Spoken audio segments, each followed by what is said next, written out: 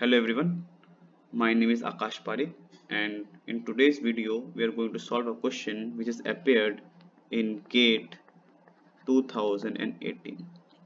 In this question we have a graph, a weighted graph where one of the values is missing, the value is x and the question is choose a value for x that will maximize the number of minimum weight spanning trees of G.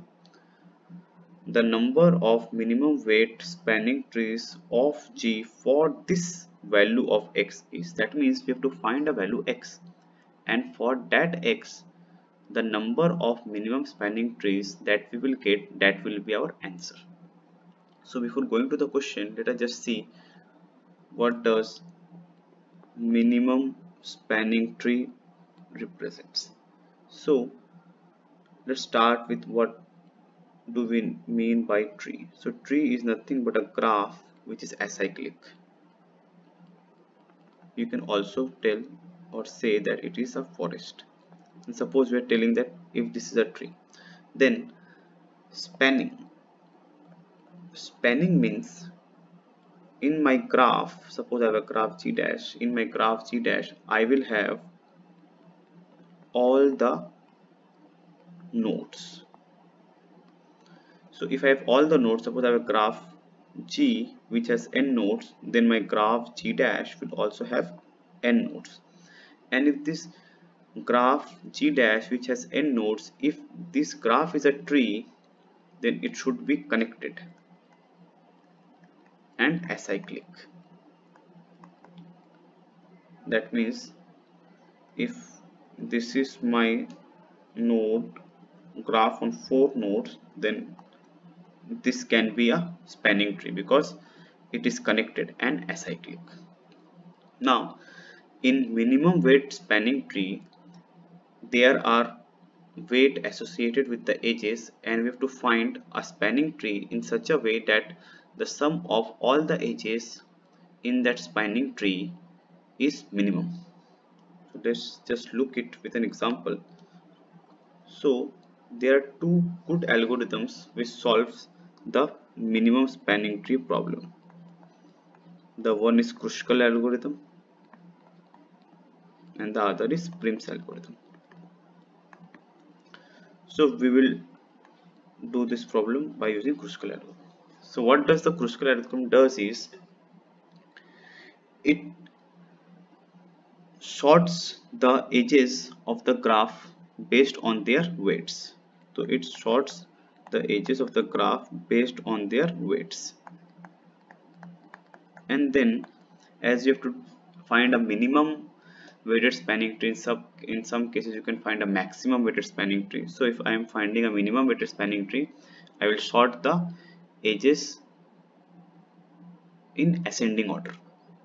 And after sorting the edges in ascending order I will pick one edge which has the minimum weight and I'll put it in the graph and then I'll put another uh, I will pick another edge which is minimum weight and put in the graph. Until I find an edge by putting that edge I create a cycle in the graph. If I'm getting a cycle in the graph I will not put that edge I will throw away that edge and I will take another edge and I will put it in the graph. As long as I am not getting the final tree. So the graph should be ultimately connected. So I will this is the Kruskal algorithm. And using this Kruskal algorithm we can find a minimum weight spanning trees. You can just google it or you can find in any book what does Kruskal algorithm does. Now coming back to our question. So coming back to our graph we have this graph and we have to find this value x. This value can be anything such that after finding this value x the number of minimum weighted spanning trees that we get are maximum. So just let me just tell you one property of graph. If all the edges of a graph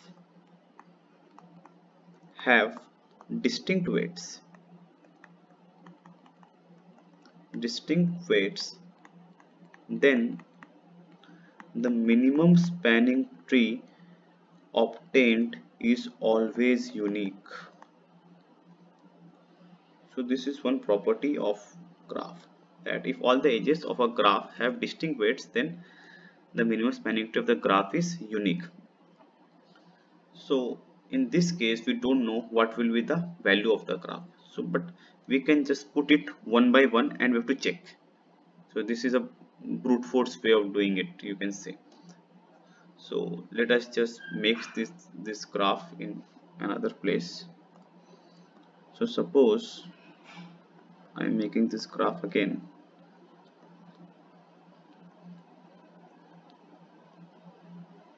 So this is my graph and the weights are 4 4 1 4 3 5 and now I have to put some weight. So let me start by because you have to minimize it let me just put one here. And find the minimum spanning tree that I'm getting with this. Using suppose I'm using Kruskal algorithm then what will be minimum spanning tree? So the minimum spanning tree which I will get so I will have all these nodes. Then first I will pick one. So I pick this one. Then I will again pick one. So I will again pick this one. Now there is no two. I will pick three. So I'll pick three. And then I will pick so I have to connect this graph.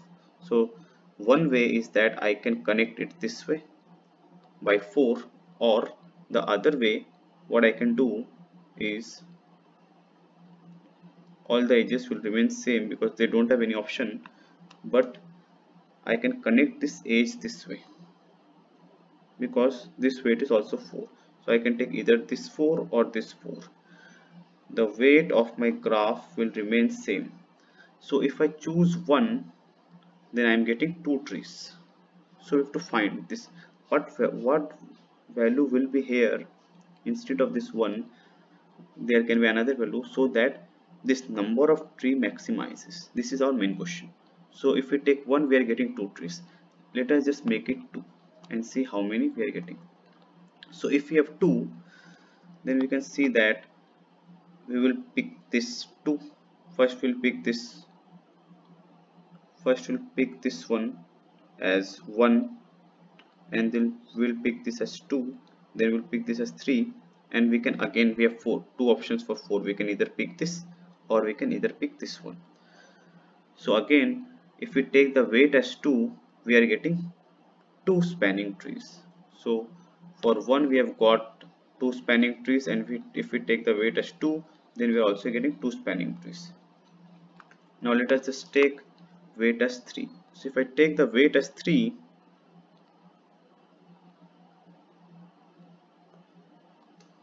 then the spanning tree one of the spanning tree which I can get is 1 3 3 4 or again I think it will again will be same.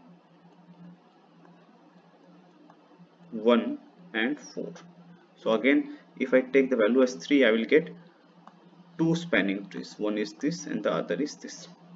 And you can observe that if you take 4 if you take the weight as 4 then again you will get two spanning trees let us just see that. So if I take the weight as 4 then again I can I will get two spanning trees so first I will pick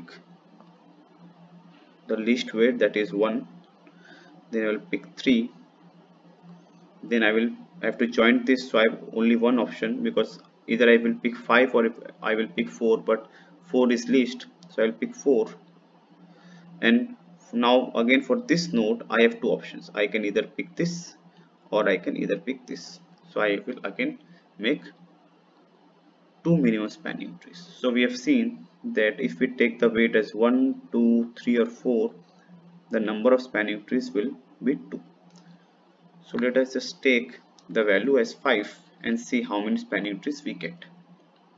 So if we take the value as 5 then let us see how many spanning trees do we get. So again I have to take this that means 1 then I have to take this that means 3 and now for connecting this node I have two two edges. I can either pick this edge or I can either pick this edge. So let me just pick this edge. So I will get this one is 5 and let me so if I get this one is 5 and for again this for this I have two options I can either pick this or I can either pick this. So let me just pick this one right now. So this. So I've created one graph. So another graph which I can which I can create is this one that I will so 1 and 3 are fixed. They don't have any option. But for this edge I can pick this 5 and I can keep this 4 this is one another graph. And again I think you must have guessed the answer because for two nodes we have two two options. So 2, 2 to the power 2 the answer should be 4 but let us just complete it for the sake of completion so again what I can do is that I can again pick this edge 5 because for the other edges I don't have any choice. I have 1 and 3 and let me pick this edge this time. So I will get another graph. And one last combination that I can get is 1 and 3 which are common. And now I can pick this edge which is 5 and then I will pick this age we just weight 4 so you can see that we have got 4 graphs when we have the weight as 5 one is this graph then this then this and then this. So when the weight is 5 we have got 4 graphs. So now the question is what will happen if I have weight as 6 suppose now I have weight as 6 so if we increase the weight will I get more than 4 graphs because if I get more than 4 graphs then I will take it because the question asks for the same. So just see.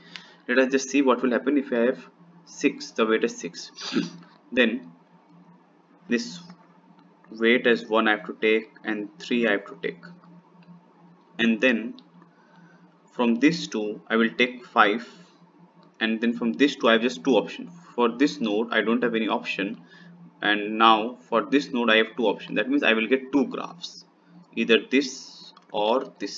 I have two graphs. So my number of graphs the number of spanning trees will be maximum when I will take the weight as 5 and I will get 4 nodes 4 spanning trees. So the value of x will be 5 and the number of spanning trees will be 4 which will give the maximum weight spanning trees. Maximum number of minimum weight spanning trees. Thank you very much